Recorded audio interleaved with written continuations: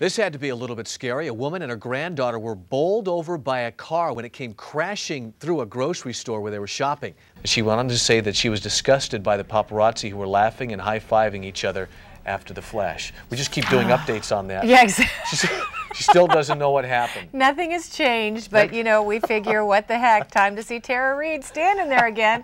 I think that the people of California have sent the legislators to Sacramento to do work, not to just hang. That's what they've been doing for the last three weeks. Hang. Nothing. The governor creating a new term there, hang. Instead of just Hanging. hanging, they're just hang.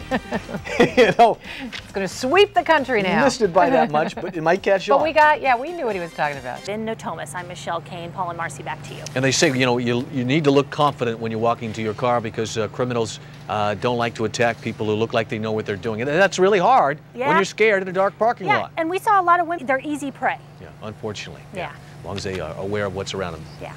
Michelle, thanks very much. The uh, suspect in an early morning shooting at a downtown nightclub is still on the loose tonight. An Amber Alert success story tonight thanks to a hero in a hardware store. Law enforcement is stepping in after an anti-war display was torn down from a Sacramento home. Two painters are back on solid ground tonight after they were left hanging off a 10-story building in downtown LA. Mogul and author is now hawking a variety of sexual sounds, all personally recorded. The downloaded sounds then play when the cell phone rings. However, these are certainly not for use in polite company. Can you imagine your phone going off while it's in your purse In church or something. or in a business meeting?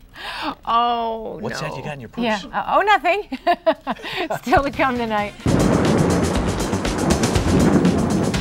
Five people are dead and several are still missing in that huge Southern California mudslide.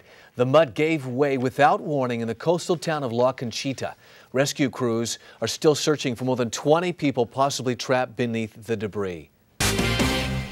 When it comes to the weather, still a lot of the attention down south as it should be, where there there has been death and destruction, but uh, it seems to be getting a lot easier here. Oh, things are backing off for us. with Paul Joncich and Jennifer Whitney. A minute by minute account of the attack on Columbine High was released today. It's a 700 page report giving a close up look at killers Dylan Klebold and Eric Harris in action. The killers are shown tossing bombs and setting fires. Within 15 minutes, 13 people were killed and 23 others were injured. The shooting began at 11:19 a.m. and the shooters killed themselves at about noon. But it wasn't until three hours later that the SWAT team made their way inside the school. Now many parents of the victims are suing, saying they didn't act quickly enough. Obviously, the blame starts with the two murderers. From that point, could more have been done? Absolutely. The report, which was released in answer to the lawsuits, includes pictures of the weapons and bombs left behind. And authorities say this if the bombs exploded as planned, as many as 600 students could have been killed. Sacramento Sheriff's deputies need your help in solving a crime. An elderly store clerk was viciously beaten and robbed last week, and part of the crime was caught on videotape.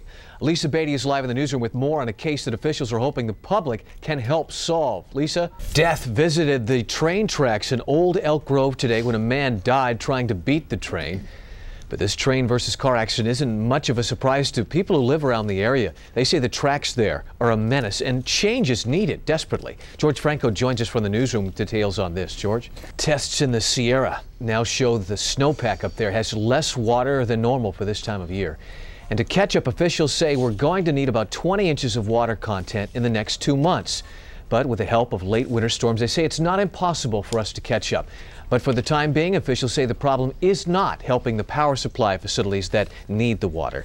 Dave Bender joins us from the Weather Center. Dave, we're going to get uh, any rain anytime soon? Actually, no. We thought we'd see something maybe at the tail end of the five day period. We don't turn the turbines. We don't have electricity for air conditioning come summer. So it's all one part, you know, one part of the really big power picture. Yeah, yeah, we need it. There's You no betcha. doubt about it, Dave. Thanks very much. See you later in the show. Well, here is the uh, latest in tonight's Power Watch. Reliant Energy filed suit against CalISO after CalISO demanded the producers sell electricity to California even if the utilities can't pay for it. Meanwhile, a stage three power alert remains in effect until midnight tonight. Efforts to end the crisis moved to Oregon, where Governor Davis met with other governors from nine western states to discuss solutions today. State lawmakers are working on how to issue bonds for the state to buy power, and that act was signed into law yesterday. Also, citrus growers in the valley are worried now that blackouts could shut down their machines that prevent frost from destroying their crops. So, lawmakers working on a bill that would exempt growers from any planned blackouts. Monday on the 10 o'clock news. That'll do it for us. We want to thank you for watching. Marcy and crew will be with you through the weekend. Have a wonderful weekend. Take care. Good night.